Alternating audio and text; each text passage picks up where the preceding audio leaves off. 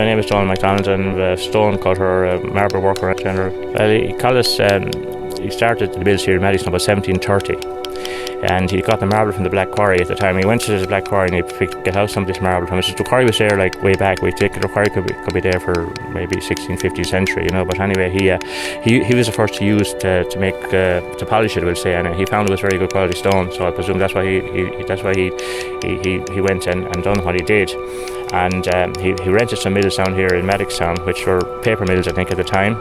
And he started cutting his marble there. And we, we think within two years he had 10 saws cutting marble there, according to himself anyway. Eventually he was taking marble at the Black Quarry, and that's where all the Kilkenny marble came from, most of it. Other marble, uh, more, more came from Gowran, Bettlers Grove Quarry in Gowran. My name is Edward Moran, and I'm involved in Barrowvale Local History Group.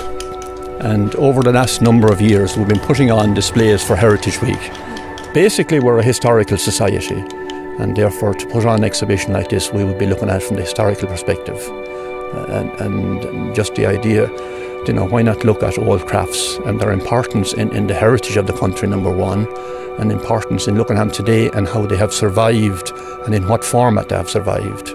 And as you can see, the, the, the basic product that most have made is now mass produced on a, at a huge uh, volume and therefore could not be produced by the ordinary craft worker and compete like on, on, on, on, the, on, the, on the open market.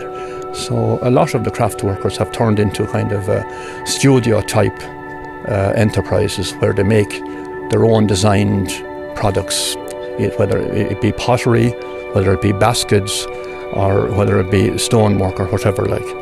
We are putting on a display of crafts of yesterday today in other words, we're going to look at a number of crafts, put them into their kind of historical perspective, tell the story of, of the craft going back over over sometimes thousands of years, and show present day craft workers uh, and how they have developed the craft and how they um, essentially make a living out of the craft in this in this era.